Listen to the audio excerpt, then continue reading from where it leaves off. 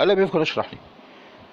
يا ترى إيه اللي بعد إحالة القضية للخبير؟ يعني بعد إحالة القضية للخبير إيه الخطوات اللي هتتم وإيه الصرف هيبقى إمتى؟ و آه، يعني ال- الموضوع هيمشي إزاي؟ تعالوا بينا نسمع تصريحات محامي المعاشات بيقول إيه دلوقتي صوت وصورة. وخليكم معانا كده نسمع بيقول إيه؟ قلت نقطة في الأول برضه عشان تبقى واضحة قدام الناس. زيادة الحد الأدنى لأصحاب المعاشات ده مش مرتبط بالمبلغ التأميني المؤمن عليه من الأول؟ لا ما أنا هقول لحضرتك عشان برضه الأمر ما يلتبسش على الناس. إحنا مش بنلتبس. ليه هو بيزود شفت حضرتك بتتكلم إيه إنه طب ما هو 300 جنيه وفرهم من الفلوس مم. أنا بقول لحضرتك في حجم هائل من الأموال موجود لأصحاب المعاشات مم. يعني إيه، الحجم فلوسهم الهائل ده مرتبط بمعاشات ناس لسه هتطلع بعد فترة فلوس بت- وفترة لو آه. أنا هقول لحضرتك الدولة بتستثمرها آه. بفايدة مثلا 9% أو 7 8% آه. الاستثمار دلوقتي الفايدة 9% ولا 20% بتصل 30 في 25% أنا ما أعرفش بقى بيستثمروا في إيه يعني الفايده ما, أنا هقول لحضرتك. أهو أنت بتستفيد بت- بتستفيد أموالي أنا كصاحب معاش مش أنا طبعا أصحاب المعاشات اللي هي عندك كدولة ب 9% تقريبا يعني أنا. مش متذكر كام بالظبط بس تقريبا 9% أو تصل ل 9% مم. طب ال 9% دول أنت يا دولة اللي واخداهم بتديني أنا فايدة صاحب معاش 9% بتستثمرها أنت بكام؟ لو الفلوس دي هي أموال خاصة. على فكرة بنص الدستور وفقا لماده 17 من الدستور أموال خاصة. صناديق يعني. آه آه أمال ما بقتش صناديق بقت صندوق واحد. مم. سواء حكومي أو قطاع خاص أو عام آه، كلها. بقت صندوق واحد وفقا لقانون 148 سنة 2019 تمام. طيب أنت يا دولة بتستثمريها من ساعة ما أنشأتي بعد ما تحولت من الادخار لقانون تأمين اجتماعي سنة 79 أنت بتستثمري الفلوس دي بتاعت ال- المؤمن عليهم عشان لما يجي خارج للمعاش يلاقي فلوس آه معاش. طبعا. طيب يا سيدي زود الفايدة 3% كمان خليها 12 بلاش 20 مم. ودي وزود الحد الأدنى. في ناس معاشها 800 جنيه 500 جنيه. حضرتك بتتكلم بقى عشان بس آه، أعرج على الحتة بقى. أنا مع حضرتك طبعا. الحتة لا الحتة الصغيرة اللي حتى لما حضرتك بتجيله بتقول زيادة نسبة الزيادة بتبقى ضعيفة. ضعيفة. آه. يعني أنت بتتكلم على قوة شرائية أصلا آه. ضعيفة. آه. أصحاب المعاشات في منهم عدد كبير جدا خرج معاش مبكر في ظل الخصخصة أيوه في الكلام ال- ده كله. في أواخر عجز التسعينات ده عجز. صاحب ال- ال- المؤمن عليه اولا آه، قلل طبعا. ال- ال- الإيراد. وفي نفس الوقت اللي خرج معاش 40 و45 سنة ده كان عنده أسرة. يعني النهارده عنده أولاده في الجامعة يعني أو خرج من الجامعة وما بيشتغلش. فبرضه هو بقى دخله ضعيف. وزي ما قلت لحضرتك هو لما كان هو, دافع هو معلش يا فندم هو برضو لما خرج أنا برضو سؤال لحضرتك آه. هو لما لما لما خرج معاش مبكر هل في ناس أجبرت على هذا المعاش المبكر ولا كان اختياري؟ في شركات اتصفت. وقتها يعني. آه اتصفت. وليه؟ طب القوميه الاسمنت متصفية آه 2018 2019 خرجوا في ناس خرجت قبل القانون بيوم معاش مبكر في تصفية القوميه الأسمنت. ده على سبيل المثال. تاني يوم اتطبق قانون الخدمة القانون التأمين الاجتماعي قال له مالكش معاش. يعني يعني حتى بقاش في معاش. إيه؟ ها؟ وده عمل إيه؟ ما هو عمل بقى قاعد يعني لا اشتغل بطلت له الشركة اللي كان شغال فيها وهو ملوش دخل وهو ما خدش دخل ما هو خد إيه ما هو سن طالما السن صغير مم. بيبقى المكافأة قليلة قليلة بقت الجنيه قيمته ما أنا بقول لحضرتك؟ مم. الجنيه مم. نفسه قيمته قلت فأنا عايز حضرتك إيه مثلا زود لحضرتك زود الفايدة اللي دولة أنا فاهم قصد حضرتك عشان تبقى ظابط دي. وحسن المعاشات آه آه بلاش تحسنه في الدخل حسنه في الدعم. يعني إيه؟ يعني زود الدعم. اديله ادي بتاع المعاش ده امتيازات شوية في الدعم. آه إيه بس المشكلة؟ خلينا خلينا برضو معلش أستاذ مغاوري في حتة هي فكرة الدعم دي يعني أنا مع حضرتك في الحتة الأولانية برضو في ضوء معلوماتي القانونية إن إحنا نحسن ونزود ونعالج مشاكل لكن فكرة ال- الدعم دي هي بتنتهي من العالم وتنتهي مصر فهي مش ده هي مش فكرة دعم قد ما أنا هذا الر- الرجل الذي أتم مهمته في في ال- في العمل يجب أن يراعى كما يعني يعني في شوف في. دول العالم كلها أيوه هي دي بيراعي صحيا آه يعني بلاش كلمة الدعم دي آه، أصلا بيراعي بيراعي في الصحة ويراعي في التعليم أيوة. في كل شيء في كل في. العالم كله آه فأنت إحنا بنقول دولة مثلا نامية أو دولة لسه عندها طموحات إنها. تبقى اعلى آه. لكن أنت ارفع الفايدة شوية مم. زودها زي ما قلت لحضرتك بدل 9 أو بدل 7 و8 من 10 أو كده زود 3% 4% وحسن المعاشات القليلة حتى على الأقل يبقى حطيت حد أدنى آه يساعد مع الناس يساعد. وحتى اما تيجي زيادة يبقى يحس بيها. يحس بيها. ما يحسش إن هم 200 300 جنيه وراحوا لأ ده تقوم مسمعة معاه ب مجرد 700 حضرتك 800 جنيه مثلا. اعلن أعلنت الدولة عن إن في زيادة 300 جنيه. لسه هتطبق بعد تطبيق القانون آه، بعد ما مجلس النواب يوافق عليها هتطبق مع شهر ديسمبر آه، نوفمبر.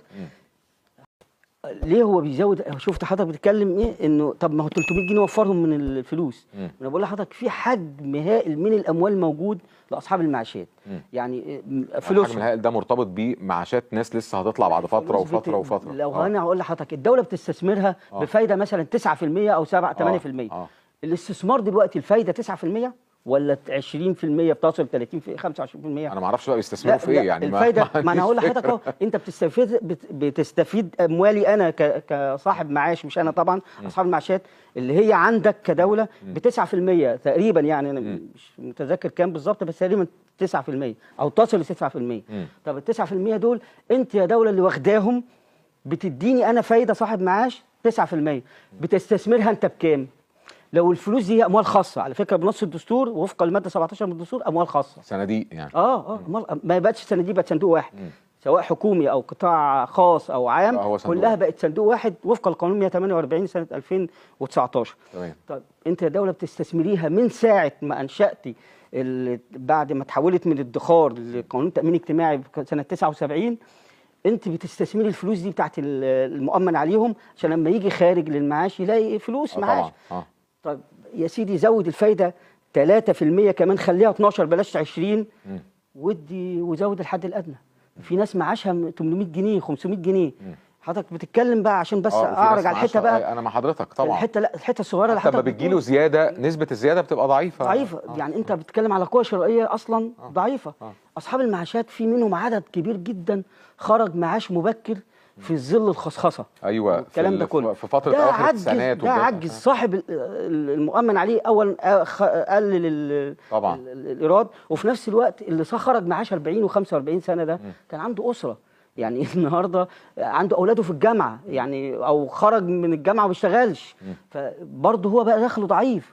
وزي ما قلت لحضرتك هو لما كان هو, دافع هو معلش يا فندم هو برضو لما خرج أنا برضو سؤال لحضرتك آه. هو لما لما لما خرج معاش مبكر هل في ناس أجبرت على هذا المعاش المبكر ولا كان اختياري؟ في شركات اتصفت. وقتها يعني. آه اتصفت. وليه؟ طب القومية الأسمنت متصفية آه 2018 2019 خرجوا في ناس خرجت قبل القانون بيوم معاش مبكر في تصفية القوميه الأسمنت. ده على سبيل المثال. تاني يوم اتطبق قانون الخدمة القانون التأمين الاجتماعي قال له مالكش معاش. يعني يعني حتى بقاش في معاش. إيه؟ مه- وده عمل إيه؟ ما هو عمل بقى قاعد يعني لا اشتغل بطلت له الشركة اللي كان شغال وهو فيها. هو ملوش دخل؟ وهو ما خدش دخل؟ ما هو خد إيه؟ ما هو سن طالما السن صغير بيبقى المكافأة قليلة. قليلة. بقت الجنيه قيمته ما أنا بقول لحضرتك الجنيه نفسه قيمته قلت. فأنا عايز حضرتك إيه مثلا؟ زود حضرتك زود الفايدة اللي دولة أنا فاهم قصد حضرتك عشان تبقى ظابط دي. وحسن المعاشات. آه آه. بلاش تحسنه في الدخل. حسنه في الدعم. يعني إيه؟ يعني زود الدعم. اديله ادي بتاع المعاش ده امتيازات شوية في الدعم. آه دي إيه بس المشكلة خلينا خلينا برضو معلش أستاذ مغاوري في حتة هي فكرة الدعم دي يعني أنا مع حضرتك في الحتة الأولانية برضو في ضوء معلوماتي القانونية إن إحنا نحسن ونزود ونعالج مشاكل لكن فكرة ال- الدعم دي هي بتنتهي من العالم وتنتهي مصر فهي مش آه، هي مش فكرة دعم قد ما أنا هذا الر- الرجل الذي أتم مهمته في في ال- في العمل يجب أن يراعى كما يعني يعني في أي في. دول العالم كلها أيوه هي دي بيراعي صحيا آه يعني بلاش كلمة الدعم دي أصلا رعاية رعاية في الصحة ورعاية في التعليم أيوة. في كل شيء في كل في الدول. العالم كله آه فأنت إحنا بنقول دولة مثلا نامية أو دولة لسه عندها طموحات. إنها تبقى أعلى آه. لكن أنت ارفع الفايدة شوية مم. زودها زي ما قلت لحضرتك بدل 9 أو بدل 7 و8 من 10 أو كده زود 3% 4% وحسن المعاشات القليلة حتى على الأقل يبقى حطيت حد أدنى آه، يساعد مع الناس يساعد. وحتى اما تيجي زيادة يبقى يحس بيها. يحس بيها. ما يحسش إن هم 200 300 جنيه وراحوا لأ ده تقوم مسمعة معاه ب مجرد 700 حضرتك 800 جنيه مثلا. اعلن أعلنت الدولة عن إن في زيادة 300 جنيه. لسه هتطبق بعد تطبيق القانون آه، بعد ما مجلس النواب يوافق عليها هتطبق مع شهر ديسمبر آه، نوفمبر. زي ما حضراتكم سمعتوا آه، حديث آه، محامي المعاشات وهو بيتكلم نتمنى ربنا يكرم إن شاء الله ويعني يقصر المدة بتاعت آه، الموضوع ال- حالة القضية للخبراء إن شاء الله وقريبا جدا نعمل نعمل فيديو ونطلع نحتفل معاكم بالموافقة على الحكم النهائي وان آه، يعني إن هو يعني وكل الخبراء آه، شافوا ال- ال- ال- الأوراق والقضية ويقسموا كل واحد حسبوا لكل واحد مستحقاته إن شاء الله آه، ما تنسوش حضراتكم تشتركوا في القناة نورونا دعمونا بالاشتراك في القناة. آه اللي اشترك في القناة يا ريت تشير لنا الفيديو ويضغط like. كل ما ضغطت like يا جماعة كل ما ضغطتوا like like و share بيخلي الفيديو بيدفع محركات البحث وبتكتسب ثواب إن أنت بتكون سبب لغيرك في إن هو يشوف الفيديو لو هو قادر على آه رؤيته بسببك بيقدر بسهولة إن هو يحصل على الفيديو. آه ضغطوا زر الجرس أو الاختيار اول عشان يصلكوا كل آه جديد. إحنا زي ما قلنا لحضراتكم بين دلوقتي كل يوم فيديوهين الساعة 2 والساعة 6 انتظرونا. الساعة 2 والساعة 6 كل يوم فيديوهين آه جداد. وان شاء الله ربنا يكرمكم آه ونشوفكم بكل خير. كان معكم سيد شاكر من قناة اشرح لي أشوفكم على خير.